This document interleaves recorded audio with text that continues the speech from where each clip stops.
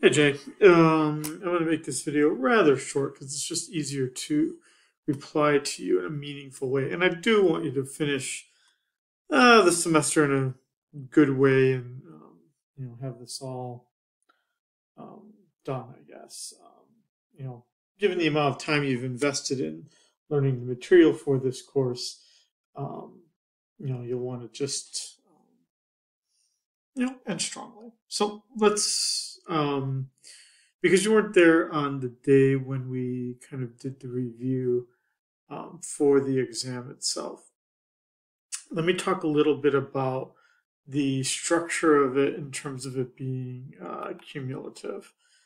Um, not a lot I can add here to this, right? So do look at the study guide that is uh, posted um, in La Lima under exam three prep.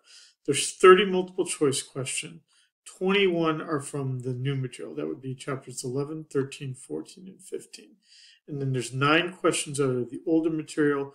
Most of it's coming from chapter 3, 5, 6, and 7. So now what does that mean? What would I do if I were you?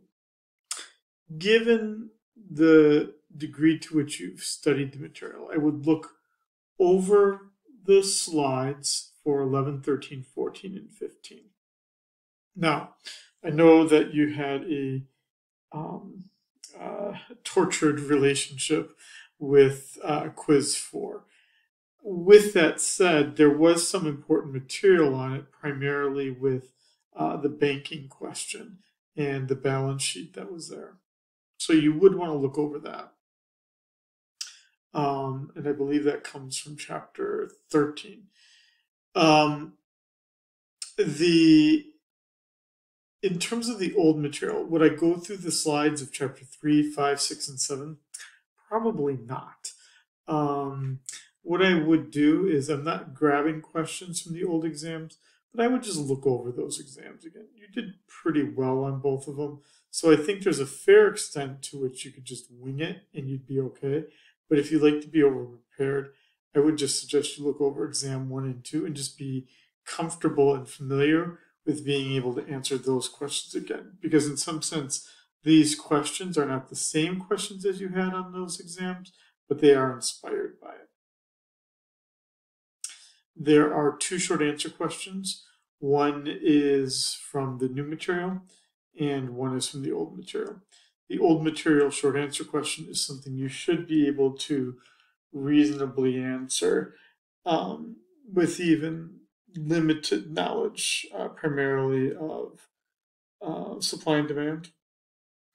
And um, the, that was a hint, by the way, of what the old question is. And then for the new, um, the new material, um, I would focus my attention on banking uh, for the most part, um, and how monetary policy is at work, and not the fiscal policy. Okay. Um, I think that pretty much answers all of your questions. Yeah, so again, I wouldn't look at all the slides all the way back to the beginning. Chapter 3, 5, 6, 7 are the most important cumulative, are the only important cumulative chapters. And I think you can study those adequately by just looking at the old exams. Okay, Jay, I hope that saves you a ton of time uh, just by talking about it clearly. And if you have, other questions, I'm sure I will leisurely reply to you in my typical sense of the um, rush before everything else. Okay, Jay.